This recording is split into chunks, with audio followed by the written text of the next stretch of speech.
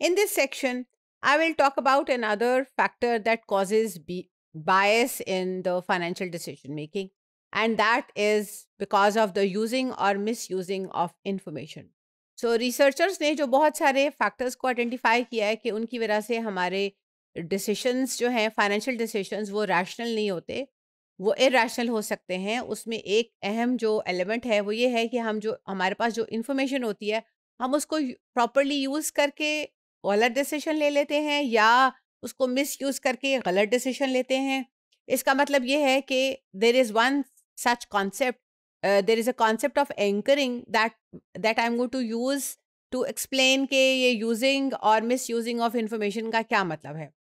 Anchor anchoring का मतलब ये है कि हम अपने कोई भी ऐसी चीज़ जो आपने सुन रखी है या आपको पहले बताई जाती है, आप उस अपना जो फैसला है उस पर्टिकुलर इंफॉर्मेशन की बेसिस पे उस उससे इन्फ्लुएंस करके लेते हैं। इसका मतलब ये है कि अगर सपोज़ आप कोई चीज़ को ख़रीदने गए हैं बाज़ार में किसी भी दुकान पे और वहाँ जो इनिशियल आपने कोई कि, किसी चीज़ की ख़रीदने के लिए कीमत पूछी है सेल्समैन से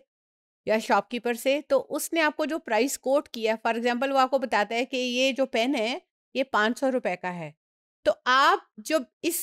को ख़रीदने जा रहे हैं इवेंचुअली तो आप जो इसकी लिए जो कीमत डिसाइड करेंगे इवेंचुअली जो भी बार्गेनिंग करके, वो 500 के करीब ही होगी। यानी कि वो 490 होगी, चार सौ रुपये होगी तकरीबन। इसके आसपास ही आप अपनी जो इवेंचुअल प्राइस जो है, वो जो डिसाइड होने वाली है, वो उसके आसपास होगी। उस इंफॉर्मेशन के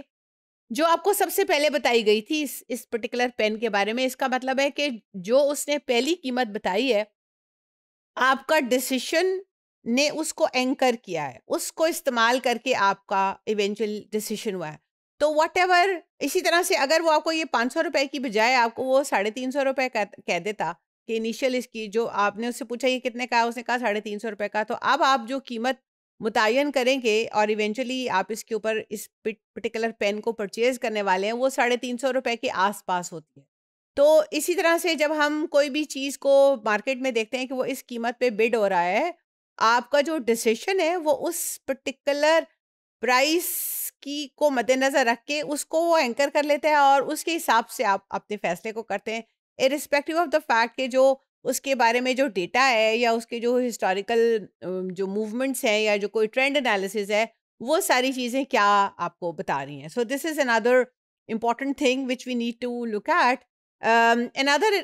thing जो कि मिस इन्फॉर्मेशन बायस को क्रिएट करता है that is availability bias availability bias का मतलब ये है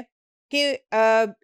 अगर आपको uh, कल मार्केट स्टॉक मार्केट में कुछ क्रैश हुआ है या स्टॉक मार्केट में कल बहुत अच्छा परफॉर्म किया है स्टॉक एक्सचेंज के इंडेक्स ने तो आज जो आप जो भी आप ट्रेडिंग करने जा रहे हैं या जो भी आप डिसीशन करेंगे वो उस पर्टिकुलर कल वाले हैपन हैपनिंग से असरअंदाज होता है। तो that is that results in availability bias के आपके जो कॉन्टेक्स्ट में फॉरन जो चीज़ हुई है आप उससे अपने फैसले को इन्फ्लुएंस uh, कर लेते हैं। The next important thing is the representative bias and representative bias में हम देखते हैं कि जो भी आपके पास इंफॉर्मेशन पड़ी होती है, हुआ वो सुपरफिशियल इंफॉर्मेशन ही हो whatever you think is